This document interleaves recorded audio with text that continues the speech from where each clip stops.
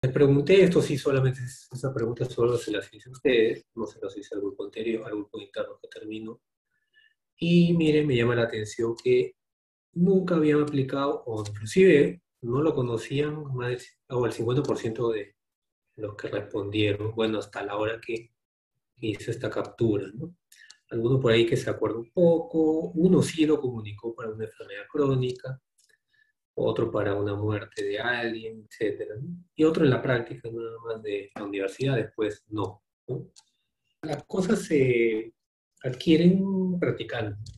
Me causó mucha sorpresa, por decirlo así, ¿no? Pero el año pasado, ¿no? Justo cuando decretan la cuarentena, ¿no? Nosotros pedíamos el curso de Clínica Médica 2 que, le pedíamos una historia o tres historias clínicas y tenía que hablar con los pacientes, etc. Y justo cuando iban a hacer la historia, nadie la había hecho para variar y la hicieron en esa semana que tenía que presentarlo. Y, a la y al lunes siguiente, como entregaron el viernes, perdón, el sábado, y el lunes siguiente se decretó el, cierre. Habían tenido ya un mes y medio casi de estar con pacientes y recién quisieron atender o hacer un historia un paciente en ese momento y después nos dicen, doctor, que cómo vamos a aprender clínicas sin ver pacientes, etc. Has tenido ahí un mes y medio para ver a los pacientes, hablar con ellos, hacer la historia, ahora me vienes a reclamar que, que no, no, hay, no, no, no, atienden pacientes, ¿no? Y yo lo veía de arriba, leyendo en la biblioteca, etc., o esperando al médico de práctica. Bueno, una discordancia siempre. Entonces, a mí me sorprende, ¿no? De que el interno venga y hay dos ingresos, no, pues yo ya hice la historia, ¿no? Que te toca a ti, ¿no? Que hablo de antes, pues, ¿no? Que le tocaba el ingreso al otro. Entonces, ¿cómo quiero yo aprender si no hago historia? Obviamente me toma tiempo, toma tiempo. Que me tengo que quedar más tarde, me tengo que quedar más tarde. Es lo que cuesta el aprendizaje, ¿no? Ahora peor, ¿no? Desde la pandemia, aunque de cierta forma sí creo que era justo, al menos para no exponernos mucho al COVID, eh, los médicos respetar las 150 horas. Pero cuando éramos residentes nosotros, íbamos todos los días, los 365 días del año al hospital, ni domingos. Ahí hacíamos, nosotros como presidentes, nota de ingreso a todos los pacientes. Un día me tocó hacer hasta 10 notas de ingreso, historia clínica, ¿no? pero más cortas.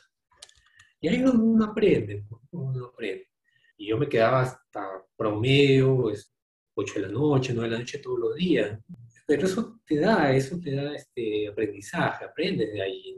Y en esa época no había un doctor Guillén o alguien que me enseñe, ¿no? O otro médico que me enseñe, ¿no? Estábamos abandonados ahí. Y a los centros también, peor. Pero ahora solamente los residentes van 150 horas y están mucho, mucho perdidos. ¿no? cómo yo adquiero una habilidad es haciéndola y repitiéndola, repitiéndola.